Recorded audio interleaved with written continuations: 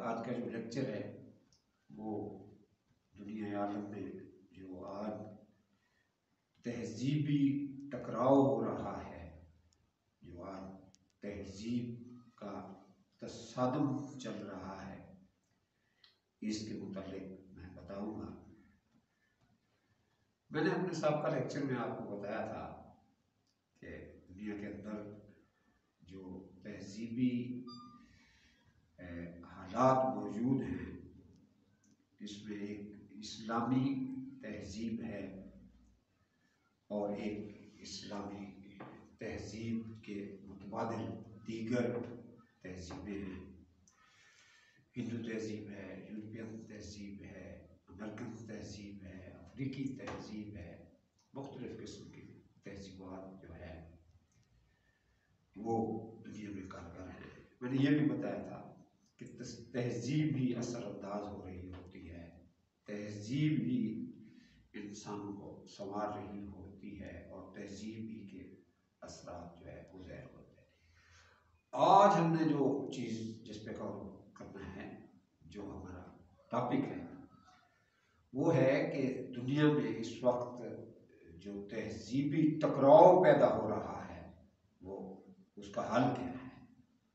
और वो कैसे जो है मुमकिन है कि इसको कैसे जो है कवर? पहले मैं आपको तहजीबी टकराव के मुतलिक बताऊँगा, फिर अगर टाइम मिला तो फिर इसके हल के मुतलिक, नहीं तो फिर कल आपको इसके हल के मुतलिक बताऊँगा। तहजीबी लिहाज से जो इस वक्त टकराव दुनिया में हो रहा है असर हाजिर में जो तहजीबी टकराव है, वो मुसलमानों और मुसलमानों के ख़िलाफ़ जो तहजीबें हैं, अमेरिकन तहजीब जिसकी पुष्ट पर पूरे यूरोप की ताकत है। हिंदी तहजीब रूसी तहजीब भी अमेरिकन तहजीब को सपोर्ट कर रही है और इन सब की जो ताकत है, वो इस्लामी तहजीब के हामिल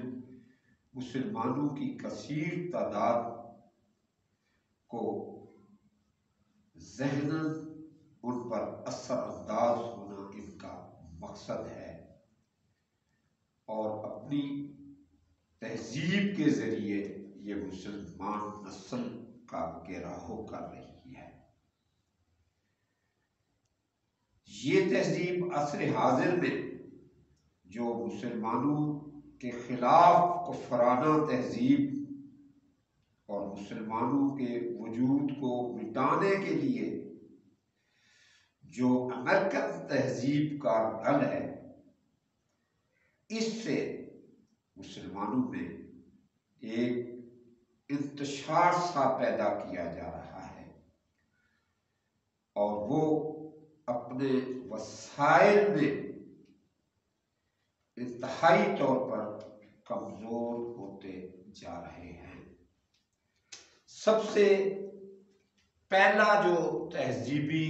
तसादुम था अज़ीज़ तलबात वो अकेद सल्लल्लाहु वसल्लम के ज़माने में, दो हिजरी में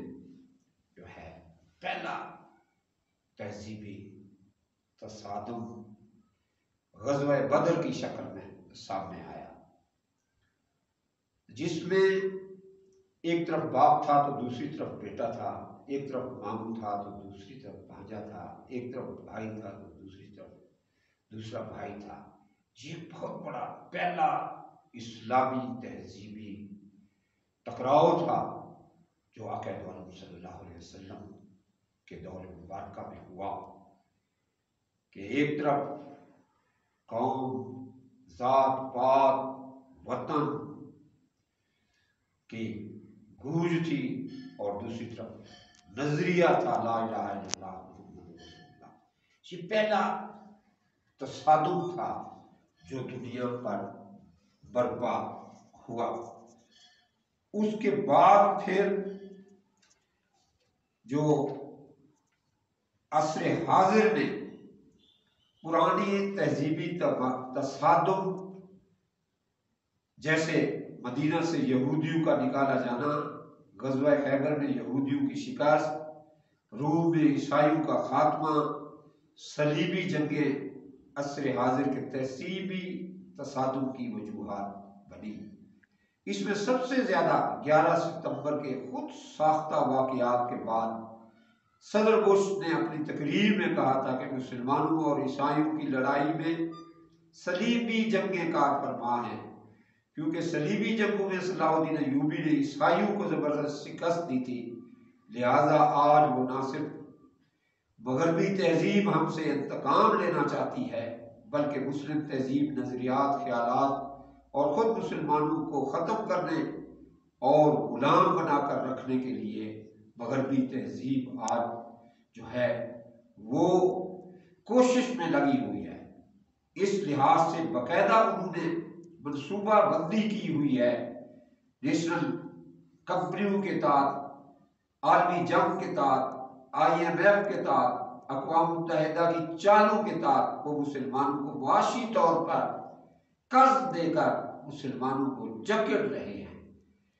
बेपनाह वसाइल के तहत मगरबी तहजीब, इस्लामी तहजीब के खात्मे और इस्लाम दुश्मनी के लिए बेपनाह वसाइल के तहत इनको जकड़ रही है और कोशा है और सबसे बड़ी जो तहजीबी अंसर जिस पर असरअंदाज हो रहे होते हैं, वो आज का मीडिया है। मीडिया की बदौलत तहजीबी टकराव को उजागर करके मुसलमानों को दहशत गर्द बनाकर दुनिया पर पेश किया जा रहा है। आप जानते हैं तलबा तलबात के मीडिया ही मुसलमान, नस्ल को मुसलमान, नौजवान नस्ल में बेरारवी पैदा कर रहा है। इंटरनेट के ज़रिए से और दीगर वसाइल के ज़रिए से मीडिया एक तहजीबी तौर पर असरदार होकर मुसलमानों की नस्लों को उनके अंदर बेचैनी और इंतशार सा पैदा किया जा रहा है। तो इस लिहाज से जो तहजीबी टकराव मंजर आम पर आ रहा है, वो यही है कि बाकायदा इसकी मनसूबाबंदी की जा रही है और अमेरिकन तहजीब को उजागर करके उसी के ज़रिए पूरी दुनिया पर मुसलमानों के खिलाफ जो है, एक इंतशार सी फैज पैदा करके और मुआशी तौर पर इनको जकड़ कर इस्लामी तहजीब के खिलाफ मगरबी मीडिया जो है वो सरबरदा है। ज़रूरत इस बात की है कि हम अपने वसाइल के तहत हम अपने दीन पर, दीन के नज़रियात पर अमल पैरा होकर और अपना एक इस्लामी ब्लाक बनाकर हम इस मगरबी तहजीब का मुकाबला कर सकते हैं। सुबह रब का रबिलज़त माया सफ़ूर वसलाम सलीम रबीआलमीन